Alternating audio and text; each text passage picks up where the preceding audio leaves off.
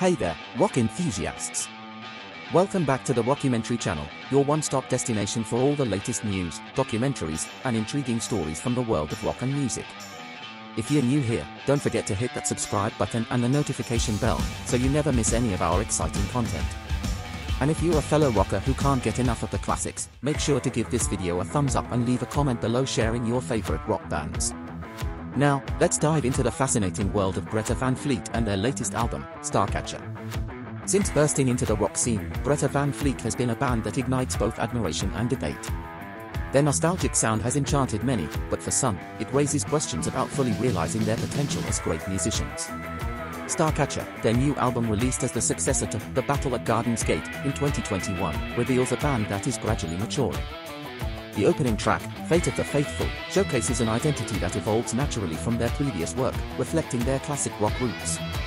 Although frequently compared to the legendary Led Zeppelin, Starcatcher reveals Greta Van Fleet's efforts to distance themselves from this comparison while still maintaining their classic rock essence. Moments like The Falling Sky showcase their unique groove and individuality, though occasionally, echoes of Led Zeppelin resurface, such as a harmonica solo reminiscent of When the Levee Breaks. Interestingly, the band seems to embrace these influences with tracks like Sacred the Thread, boldly acknowledging the similarities to Led Zeppelin, yet transforming them into their own distinctive qualities. For die-hard Greta Van Fleet fans, Starcatcher is undoubtedly a treasure trove, reminiscent of their previous works, The Battle at Garden's Gate and Anthem of a Peaceful Army. However, for those seeking a fresh take on classic rock, the album might not fully meet their expectations. Despite any reservations about a change in sound, Starcatcher still captures Greta Van Fleet's essence and offers a thrilling trip back in time with tracks like Meeting the Master and Frozen Light. While the album might not completely translate the band's live intensity and mastery, it remains a powerful experience that makes their live performances even more extraordinary.